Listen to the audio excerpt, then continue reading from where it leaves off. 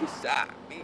Sharice Nesmith talks about the terrifying moment that went down inside her home. He keeps shooting and shooting. I heard my baby screaming. Investigators say 23-year-old Shavell Jordan Jones shot and killed her mother, Gail Baker, two sisters, Aisha and Shante, and her four-year-old daughter, Janice. Sharice was also hit. You could see the bandages on her face. I felt my jaw broke.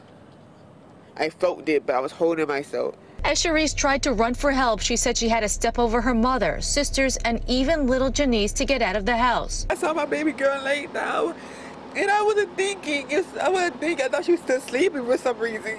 Her two other children were alive. My son said, Mommy, are you okay? I was holding my face and I was holding my jaw.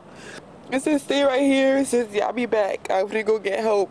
Sharice went door to door, covered in blood, hoping someone would help. We're knocking on doors, knocking on doors. I was holding my jaw my, my nose. A neighbor finally opened a door. When deputies arrived, they found six-year-old Jason and four-year-old Jaleese hiding under a blanket.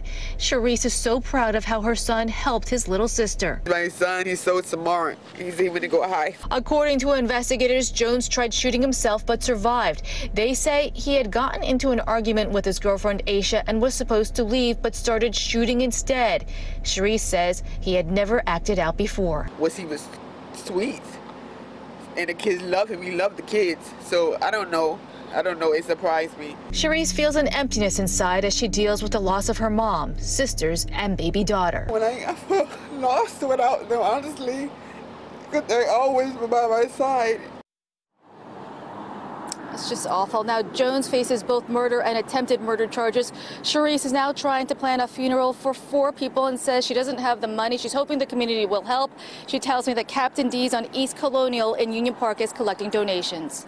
Live in Orlando, Valerie Boey, Fox 35 News.